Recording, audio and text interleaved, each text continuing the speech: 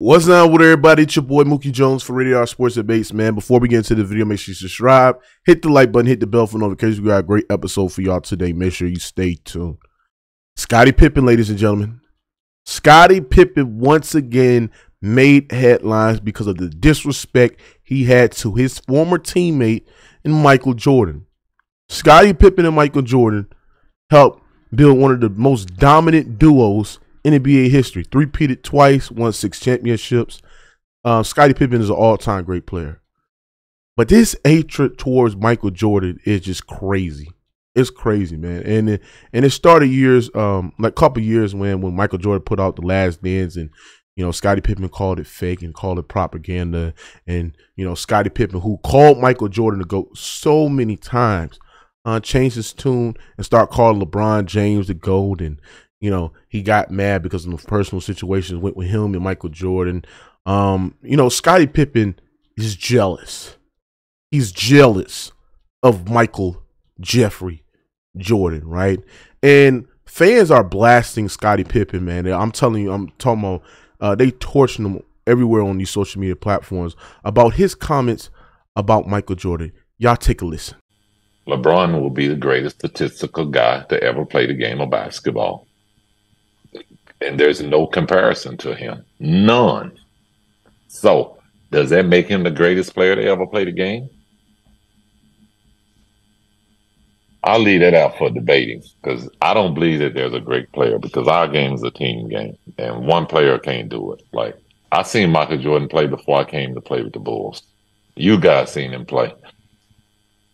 He's a horrible player. He was horrible to play with. He was all one on one. He's shooting bad shots and all of a sudden we become a team and we start winning. Everybody forgot who he was. That's where we got to. We're calling Michael Jeffrey Jordan a horrible player because when he's able to get an established team, he was able to win. Before Scottie Pippen developed to an all-star caliber player, before Phil Jackson came along, Michael Jordan was winning MVPs. He was winning scoring titles. He was winning DPOYs. He was averaging 38 and 8. So when he had the responsibility of being a shot creator, a facilitator, a ball handler, and the uh, elite point of attack defender, he was putting up great, great numbers, right? So Michael Jordan teammates when he was leading them guys to the playoffs was on cokehead. They were crack. It was, was crack. Cocaine was prevalent in the eighties, right? His teammates was on cocaine, and he never had no no all star top tier talented of, of, of, a team. Um, what you think they can make deep postseason runs to Eastern Conference Finals? He did actually make a deep postseason run to the Eastern Conference Finals, but look at the teams that Michael Jordan was facing. He was facing the uh, the 60 win Sidney Moncrief Milwaukee Bucks. He was facing the um the um the greatest team of all time in, in the Boston Celtics with four Hall of Fame players, right? Right, and Bird, Kevin McHale, Robert Parish, you name it, right? He was facing the bad boy Pistons, right? And no bad boy Pistons teams was so lethal defensively, right? Um, and they were 60 win as well, right? So look at the competition that Michael Jordan had to face leading up to the NBA Finals, especially in the 80s right? It was superior. It was top tier. Once you gave Michael Jordan the correct teammates, and once Phil Jackson um, taught Michael Jordan how to play a different system, Michael Jordan played team basketball.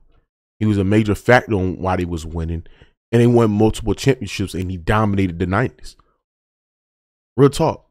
So Scottie Pippen saying Michael Jordan is a horrible player just because he didn't win, right? Um, it's just it's just crazy. It's just crazy because Scottie Pippen is not put in the context. Meanwhile, the guy that he's sucking up, right?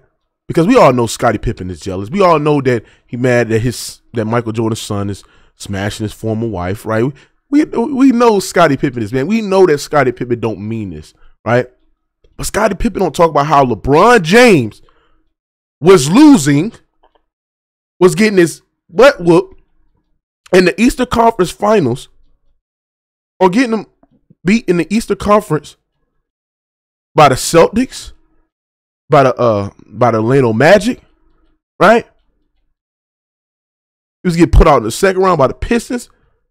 He don't talk about that. When LeBron James had all-star caliber players, right? He had a great defense in the postseason, and he still lost. Even Mike Malone just said like a couple weeks ago that, bro, LeBron James is great. He was a great basketball player, but you need a team to actually win. Once LeBron James got a team, he was able to win a championship. What is Scottie talking about? Has Michael Jordan ever lost a finals, uh, underperform a finals, right? Where he has at least two or more All Stars? No. Michael Jordan has barely lost any playoff series when you give him at least two or more All Stars.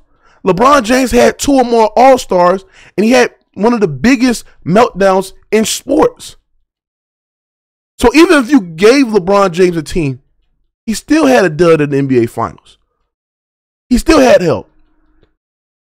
But Scottie Pippen wants to prop up LeBron James when LeBron James had the teammates and you're still able to underperform in the NBA Finals. LeBron James and Michael Jordan, GOAT debate, it's not even close. I don't even know why it's a GOAT debate because the consistency around the NBA, the players, right, says that Michael Jordan is the GOAT. Listen to that clip. You can tell that Scottie Pippen is depressed. He's angry. He's upset. Right?